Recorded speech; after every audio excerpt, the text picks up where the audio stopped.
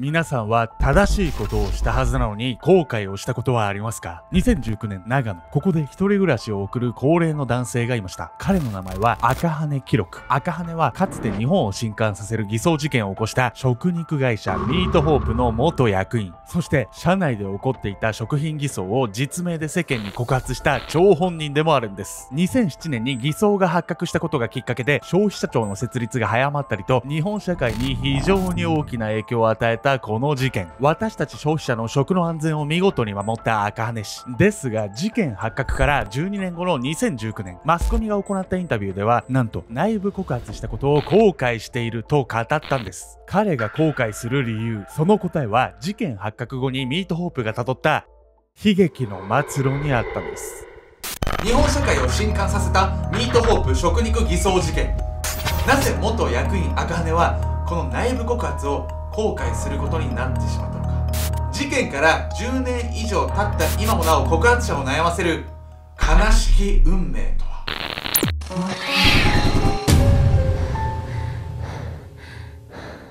おっすおす。コロナ明けたら海外旅行行きまくりたいケンちゃんです。私も連れてって。エミヤミコです本日は2007年に日本で発覚した食肉偽装問題についてなんですけど、うん、偽装したね、食品会社で働いていた赤羽さんのね、告発によって事件が明るみになったんです。ですが本人もね、赤羽さんはこの告発をね、すごい後悔しているんです。まあ僕はね、かなりね、勇気ある行動だったと思うんですけど、メタラの皆さんはね、これに関してね、どう思いますかね？コメント欄でね、ぜひね、僕らにね、教えていただければと思います。まずは、そもそもどんな事件だったのか、食肉偽装事件のひどすぎる実態をご覧ください。豚肉を牛肉へ遡ること13年前の2007年6月20日、北海道苫小牧市。この町の食肉加工会社ミートホープは、この6月20日を境にマスコミの注目が一挙に集まったんです。そのきっかけとなったのは、赤羽市が内部告発した食肉偽装問題。実はね、ミートホープが関わっていたところで、いろんなね、スーパーとか、23都道府県のね、学校の給食センターにまでね、配送してる製品を作ってめちゃくちゃなんか影響力ある会社ね、これ。いや、そうなんですよ。ミートホープによる製造、流通量は、業務用に5500トン、そして一般消費者向けにも4300トンと、計9800トン。これはウィンナーソーセージで換算するとなんと約45万本分それほど社会的影響力のある大手企業ミートホープが行っていた偽装は信じられないほど大胆だったんですいくつかご紹介するとまず豚肉を加工した商品に貼られたラベルが牛肉いやシンプルに嘘じゃないいや、そうなんですよ。もうバレるでしょって思うかもしれないですけど、うん、加工して出してるんで、はい、僕みたいなね、バカ舌の人にはね、わかんない可能性全然あるんです。確かに。さらに商品が売れないまま古くなると製造日のラベルを新たに貼り替え最近製造された商品として再び取引先に売り出していたことも明らかになっていくんです。いや絶対腐ってんじゃないこれ。そうなんです。消費期限っていうねもう概念すっ飛ばしますよねこれ。ミートホープの嘘は止まりません。加工食品を製造する際には豚の内臓やリンパなど本来使用しない部位や消費期限切れのパンを砕いてミンチ肉に混ぜていたんです。ちなみにミートホープ社のね屋根にね雨水が溜まってて、うん、それねバケツでね回収してたそうなんですけどなんてですね冷凍した肉の解凍ねする時にねその雨水を使ってたそうです。パッチすぎない？ちょっとそれ。平成の日本とは思えないよこれ。後に分かったことなんですが実際にミートホープが製造したソーセージからは食中毒の原因にもなりうるサルモネラ菌が検出されたんです。怖このようなとんでもインチク食肉加工を長年にわたり続けてきたいろんな意味で汚い業者それがミートホープなんです。そんな会社をワンマンで経営していた社長田中稔は従業員に向かってこう発言していたそうなんです。加熱すれば大丈夫だ。大丈夫じゃねえわ。さ、うんうん、魚とか野菜と違ってさ、生で食べることってほとんどないじゃないですか。だからそれもあってね、あの、重大な健康被害っていうのはね、出てなかったんですよ。まあ、食品偽装はね、もう絶対やっちゃいけないことなんですけど、うん、そもそもね、ミートホープのね、社長であるね、田中稔が、うん、なんでこんな偽装に手を染めてしまったのか、見ていきたいと思います。価格競争の闇。田中稔は1938年に北海道で生まれました。俺のおばあちゃんと一緒。中学卒業と同時に地元の精肉店で働き始めました。地道にコツコツと働いた田中は、叩き上げでスキルアップ、食肉加工の技術にどんどん精通していき、周囲の関係者からは、なんと天才と呼ばれていたほどなんです。ケンちゃんが何の天才なの？俺ね、けん玉の天才なんですよ。へ世界一周です。けん玉で世界一周ってどういうことなのけん玉しながら世界一周するのあかんって言っちゃった。1976年、北海道苫小牧市にミートホープを設立。この頃の田中はビジネスの嗅覚も身につけており、あっという間に販路を拡大させるんです。そして、息子や親族を経営幹部に据え、自分をトップとした圧倒的な一族経営で会社を支配。ここまでは絶好調のミートホープだったんですが、1990年代頃から徐々に暗雲が立ち込み始めるんです。その大きな要因となったのは、大手スーパーの台頭。ジャスコとかダイエーとかでしょ、これ絶対。まあそうなんですよね、うんこの時期ね日本の各地でね、うん同じようなね問題がね次々起こってたんですスーパーは内部の工場で肉製品を製造できる環境が整い始めており、ミートホープのような外部の食肉加工業者が不要となったんです。そのため、食肉加工という仕事は需要が減り、ミートホープの売れ行きは下がる一方、かつては反映しまくっていたミートホープでさえ、価格競争という市場原理には勝てなかったんです。このような厳しい情勢の中ミートホープが食肉加工のね仕事を続けていくためには取引先にね自社で肉を作るよりミートホープに頼んだ方が安いわってこうね思わせないとねいけなかったんですよ。今でいう、まあ、コスパの良さっていうのを押し出していかないといけないい。やそうなんですよね、それをね追求するがあまりねあの泥沼にどんどんはまっていってしま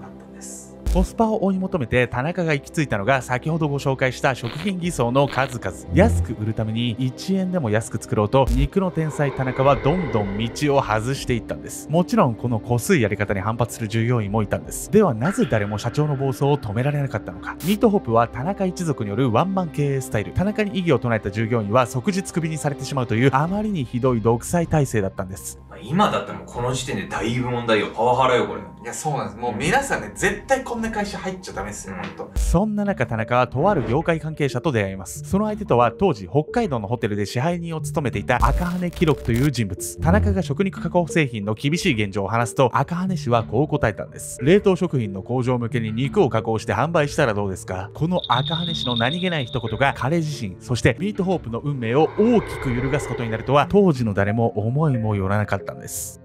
皮肉なことに、この出会いは、うん田中社長が悪に手を染める、うん全ての始まりになっちゃったわけね、これね。突如現れた凄腕同業者この赤羽さんは一体どんな人物なのでしょうか？超エリートキャリア。ミートホープの社長の田中に革新的なアドバイスを授けた赤羽氏。彼の生まれは1935年の長野。38年生まれの社長田中とほぼ同年代なんです。叩き上げで道を切り開いてきた田中と同様、赤羽氏も自力でキャリアを築き上げました。地元の高校を卒業後、法務省長野地方法務局に就職。その後、1978年に北海道の観光会社に入社すると、業務取締役にまで上り詰め、さらには北海道内の複数ホテルの総支配人を務め上げたんです。そんな超エリートキャリアの中でたまたま出会ったのが、ミートホープの田中社長だったんです。田中は赤羽市の営業センスやホテルを通じて培っていた食品メーカーとのコネクションにベタ惚れ。1995年に赤羽市が定年退職を迎えるや否や、田中は彼の元を訪問。田中は必死で赤羽市にラブコールを送り、直談判を受けた赤羽市はついに役員としてミートホープへの入社を決意したんです。定年退職してからも働くってめちゃくちゃ立派じゃない、これ。新たなステージで再スタートを切った赤羽氏しかし入社するや否や田中の態度は激変。田中一族が支配するミートホープの中で冷たくあしらわれる日々。さらに赤羽氏はここで初めて常態化していた食品偽装の実態を知ったんです。そして製品の不備や異物混入に気づいた食品メーカーからのクレーム対応に追われ赤羽氏は精神的にどんどん疲弊しきっていたんです。赤羽さん、これまでめちゃくちゃ頑張ってさ、いい人生歩んできたのに、最後の最後にとんでもないやつあっちゃったじゃない、これ。そうなんです誰とね働くかってねすっげえ大事だと思うんですよね、うん。皆さん。今の職場とかね本当にここでいいのかなみたいなねちょっと考えるきっかけにねこの動画がなればいいと思うんですけどね。取引先からのクレームが続いても田中は商品開発と歌いながら一向に食品偽装をやめようとせず誰の進言も聞きません。消費者への主だった健康被害こそまだ出ていないんですがこのままでは企業としてまずいと考えた赤羽氏。自分の意見が田中に通らないのであればとある作戦を実行したんです。それは北海道内の保健所や学校給食センターなどに公衆電話から連絡し行政からミートホープに業務改善命令を出してもらおうというもの。匿名で告発したんですが行政の見解はこうでした。不審者によるいたずら電話他社からの営業妨害ミートホープが北海道で有名な企業だったこともあり身元が誰かもわからない匿名の告発は全く信用されなかったんですこんな感じでね働くのも嫌だって言ってね2006年に退職するんです。うんそしてね、なんと実名で農林水産省に告発するんですけど、信じてくれなくて、証拠不十分としてね、拒否されちゃったんですよね。でも、ミートホープに対してね、怒りを持つ人たちってね、他にもいたんですよ。ミートホープの末路。内部告発を取り合ってもらえず心が折れかけていた赤羽氏のもとに強力な味方が現れるんです。それはミートホープの元社員たち。同じく田中社長の方針に憤っていたメンバーと赤羽氏が結託してミートホープの子会社を設立したんです。そんな彼らの目的は秘密裏にミートホープの内部資料を集めマスコミにリークすること。行政は事なかれ主義で対応してくれません。そこでマスコミにネタを持ち込むことで記事を書いてもらい偽装問題を世間に知らしめようと考えたんです。さすが赤羽さんじゃないこれ賢い方法ねこれね。週刊誌や新聞社に告発文のファックスをばらまいた結果真っ先に反応したのは朝日新聞。2007年6月20日ミートホップが卸した牛肉コロッケから豚肉の DNA が検出されたことが朝日新聞の一面スクープとして掲載されました。この記事がきっかけとなりこれまでの偽装の数々が発覚してミートホープは奈落の底へ。田中は不正防止競争法違反と詐欺罪で逮捕され懲役4年の実刑判決を受けました。そしてミートホープは倒産し働いていた従業員も全員解雇となったんです。悪は必ず滅びる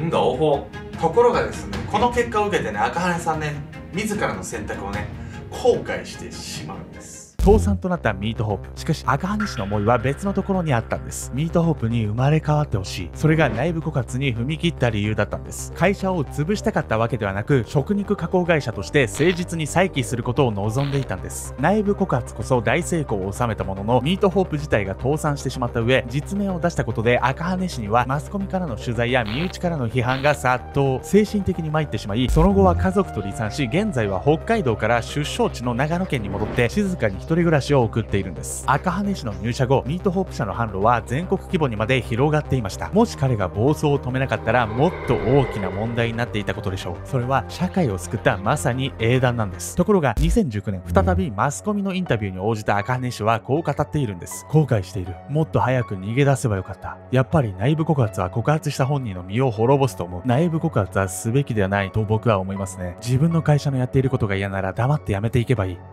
見て見ぬふりをしていくことにはなりますよね。赤羽さんの行動は社会にとっては確実に正しいものでした。ですが本人にとっては間違った選択になってしまったんです。まあなんか悲劇的結末だったけども私は赤羽さんのやったこと正しいと思うけどね。まあそうですよね。まあ自らね、選んだ結果ではあるんですけれど、まあ客観的に見て、日本のためになってるしね、うん。僕いいと思うんですけど、ベトナムの皆さんはね、どう思いますか？コメント欄でね、ぜひ教えてください。